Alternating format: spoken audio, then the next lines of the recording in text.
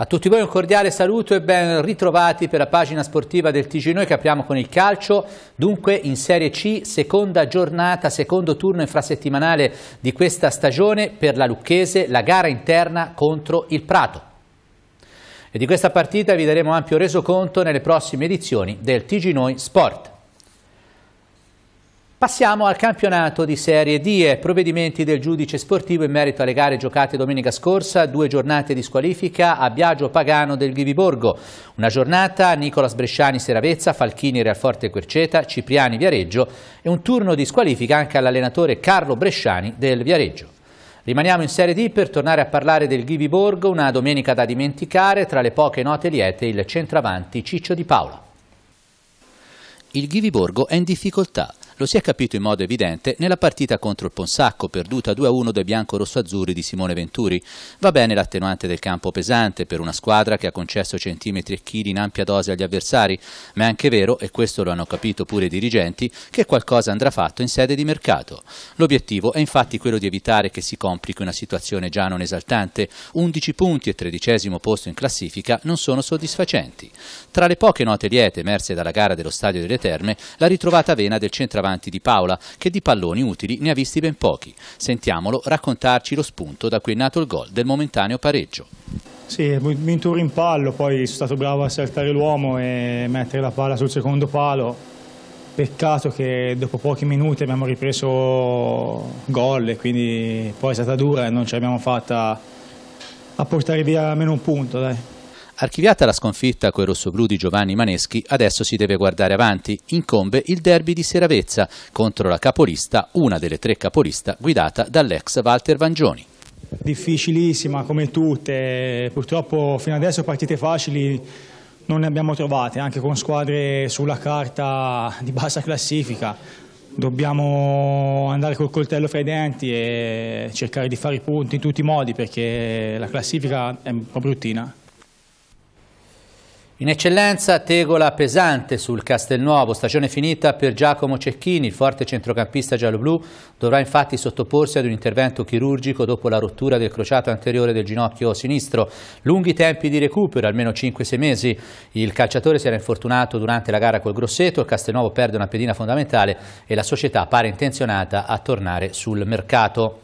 Martina Crippa e Federica Tognalini sono le due giocatrici del Gesan Lemura campione d'Italia convocate con la nazionale italiana, attesa nei prossimi giorni da due gare valide per la qualificazione ai campionati europei.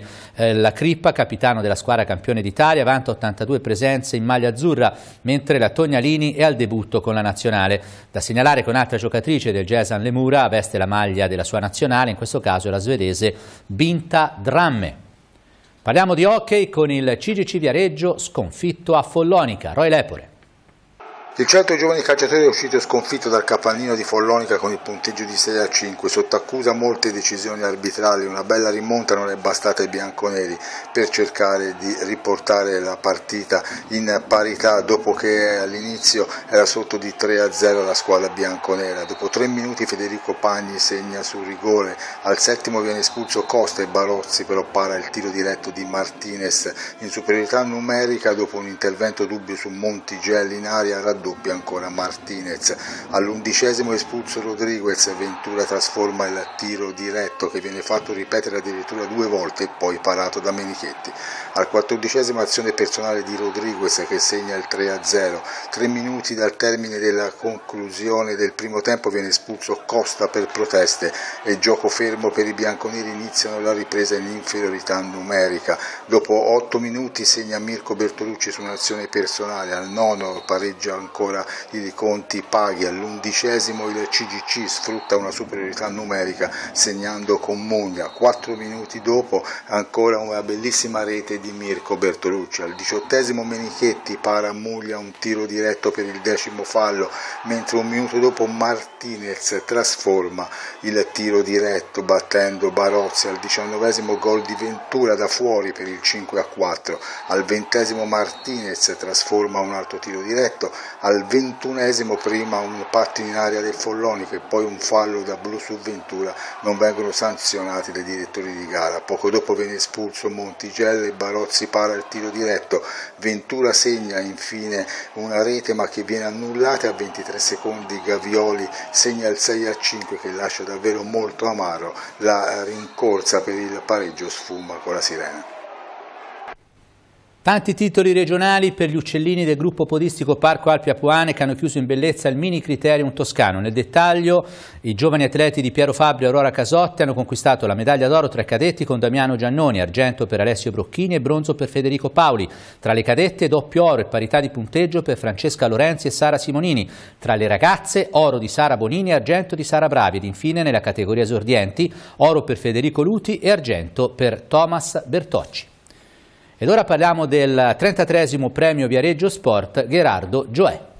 All'Hotel Principe di Piemonte si è svolta la 33esima edizione del premio Viareggio Sport Gerardo Gioè, sempre numerosi premiati da parte degli organizzatori, tra questi Elena Pirrone, bicampionessa mondiale di ciclismo. È una grande emozione, mm, una gara cercata, una vittoria cercata e è una vittoria che mi porta grandi soddisfazioni. Profeti in patria, Andrea Gazzoli, direttore generale della SPAL. Fa piacere tornare e averlo, prenderlo anche da dirigente. È chiaro che molti dei meriti in questo momento qui vanno alla SPAL. E Andrea Masiello, difensore centrale dell'Atalanta. L'importante è andare bene, fare quello che sto facendo con l'Atalanta, che è la cosa più importante, trovarsi sempre pronti, mettersi a disposizione dei miei compagni. Un affezionato del premio è anche Alessandro Bonan, collega di Sky. Eh, a Viareggio state bene, me devo dire a Viareggio state meglio che da altre parti d'Italia e non dico altro. La tua Fiorentina ti fa un po' soffrire?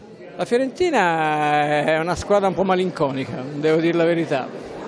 È una squadra che trasmette un po' malinconia, è in una fase diciamo è in un interregno, come si dice, non è né carne né pesce. Gli onori di casa li ha fatti il sindaco di Viareggio Giorgio del Ghingaro. Premio che porta il nome della nostra città, è un premio che non premia solo lo sport, ma le persone. Con questo si chiude anche la pagina sportiva, vi ringrazio per l'ascolto, dopo una breve pausa il TG prosegue con la terza ed ultima parte.